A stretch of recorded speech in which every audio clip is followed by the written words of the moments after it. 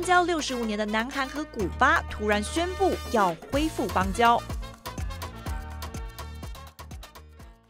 중남미 카리브 지역 국가 중에서 유일한 미 수교국인 쿠바와의 외교관계 수립은 우리 대중남미 외교를 강화하는 중요한 전환점이자 这一步对南韩来说可不容易。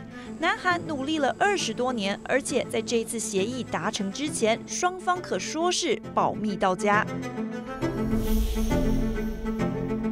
The consultations went on with a degree of secrecy, as apparently Seoul didn't want them uh, sabotaged.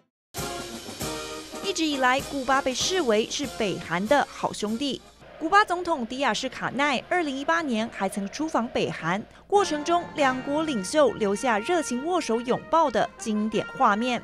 但现在，这位好兄弟却跑去跟北韩的头号敌人建交。I think North Korea must be in shock witnessing South Korea establishing diplomatic ties with Cuba. The only way for North Korea to get out from diplomatic isolation is to give up on its nuclear weapons as demanded by the international community. 从古巴的立场来看，他们转向拥抱南韩，背后的盘算和经济息息相关。One of the most important factors in Cuba finally giving in to South Korea's advances was its worsening economic situation. It needed a helping hand, and South Korea was ready to provide that. 在建交消息传出前，古巴人始终在困顿的经济环境中挣扎。美国长期禁运、全球通膨，还有先前新冠疫情的冲击，都让古巴经济持续衰退。 No solamente el, el- el combustible y la cosa, es, es la comida, es, el- es todo, que está muy caro. porque la mayoría de la población es- viven de un salario y de una jubilación que no alcanza. En ningún sentido alcanza. Porque ni podemos tomar leche, ni podemos comer lo que, que lo, vaya, nada de nada.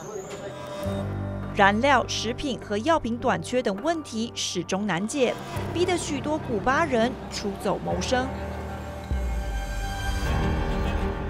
Tenemos pensado eso, instalarnos allá, a ver si nos va bien. 透过和南韩建交，古巴政府希望有助于改善财政赤字。而对南韩来说，和古巴结盟是南韩在外交和经济上的一大突破。 Yeah, it's very significant for South Korea under President Yoon. Uh, he's been trying to make South Korea more of a global player, or at least to launch it more onto the international stage, uh, saying that is befitting the size of its economy these days.